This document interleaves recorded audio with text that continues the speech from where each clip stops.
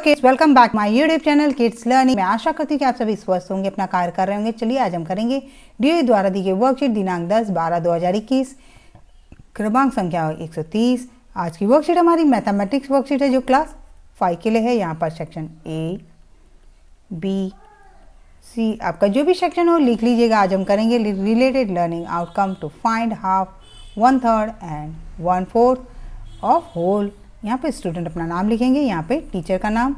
तो चलिए बच्चों, बिना किसी देरी के वर्कशीट शुरू करते हैं। चॉकलेट के हिस्से। अमन और तारा भाई बहन हैं। उनके पिताजी उनके लिए कुछ चॉकलेट लाए। हर चॉकलेट अलग अलग आकार शेप की है। पिताजी ने कहा, दोनों बच्चे चॉकलेट को बराबर बराबर पाट कर खाना।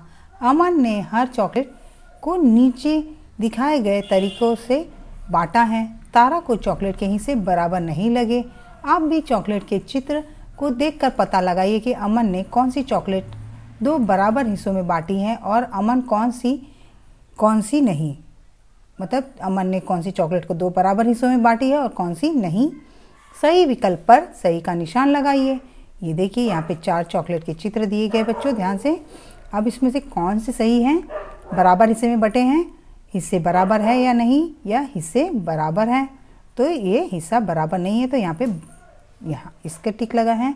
आगे देखते हैं, हिस्से बराबर हैं या हिस्सा बराबर नहीं है। तो ये देखिए, इस चॉकलेट को इस तरह से काट तोड़ा है उसने। तो ये बराबर है। अब यहाँ पे देखिए, हिस्से बराबर है या नहीं तो हिस्से बराबर नहीं है। ये यहाँ आना चाहिए था, तब बराबर होता।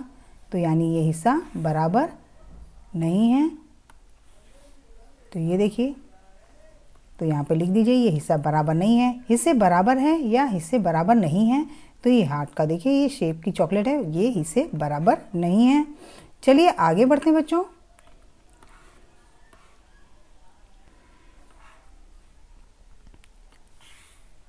क्या आप चॉकलेट के दो बराबर हिस्से, हिस्सों में बांट कर दिखा सकते हैं? क्या ये चॉकलेट को दो हिस्से बराबर हिस्सों में बांट कर दिखा सकते हैं? चलिए बच्चों करते हैं। ये चॉकलेट दी है, इसे दो बराबर हिस्सों में बांटना है। हम इस तरह से दो बराबर हिस्से में इसे यूँ बांट लेते हैं। तो ये हो गया दो बराबर हिस्से और इसे भी इस तरह से बांट लेंगे दो बराबर हिस्से में। और ये हार्ट को भी इस तरह से दो बराबर हिस्से में बांट लेंगे। तो ये दो इसे सही से कर देते हैं।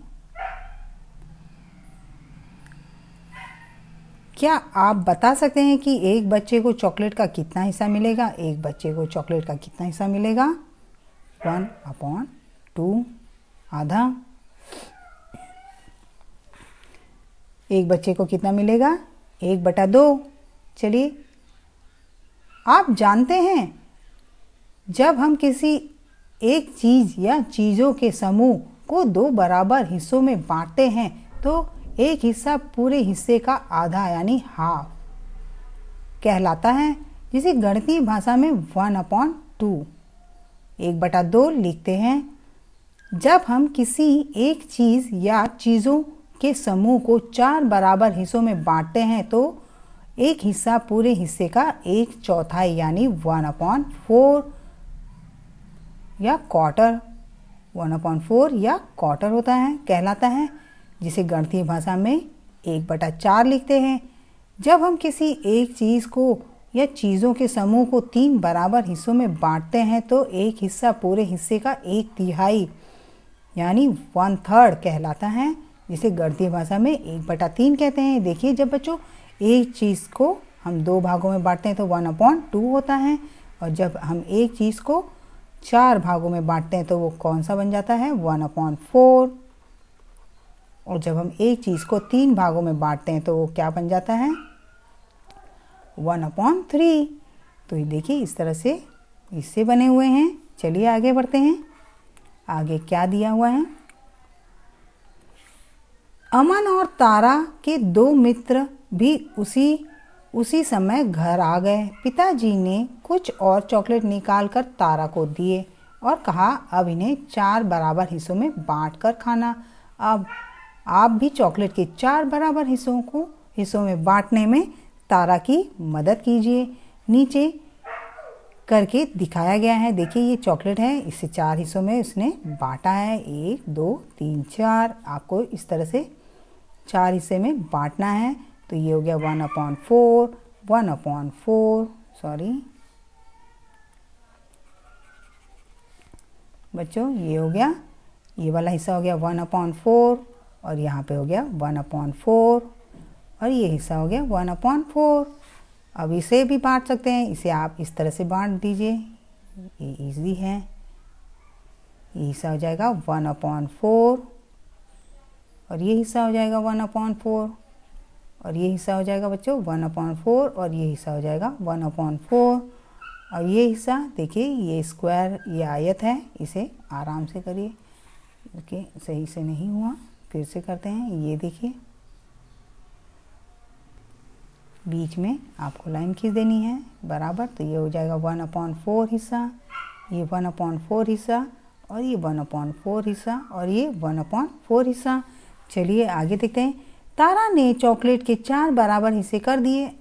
सभी ने चॉकलेट का एक चौथाई भाग खा लिया। अब एक चॉकलेट और बच गई। तारा जब उसे चार बराबर हिस्सों में बांट रही थी तभी अमन ने कहा, उसे और चॉकलेट नहीं खानी। अब तारा को चॉकलेट के तीन बराबर हिस्से करने हैं। तारा ने चॉकलेट को इस प्रकार तीन हिस्सों में बांटा, बांट दिया। अब तीनों बच्चों को चॉकलेट का वन तिहाई, वन थर्ड, यानी एक बटा तीन भाग मिला। यहाँ पे देखिए, इस तरह से उसने एक चॉकलेट टी, उसे तीन हिस्सों, बराबर हिस्सों में बांट दिया। तो सबको कितना मिला? One third. तो ये थे उसके। इसने एक चॉकलेट को वन थर्ड हिस्से में बांट दिया तो सभी बच्चों को वन थर्ड चॉकलेट मिली। अभिभावकों के लिए सुझाव है कि बच्चों को आकृति बनाकर उसे तीन बराबर भागों में बांटने के लिए प्रेरित कीजिए। आज का कोविड का मैसेज है, जब भी बाहर निकले, मास्क ज़रूर लगाएँ बच्चों। कोरोना को हराना है तो मास्क ज़रूर लगाना है।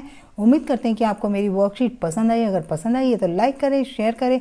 अगर आप मेरे चैनल पर नए हैं तो फटाफट से चैनल को सब्सक्राइब कर दें बच्चों।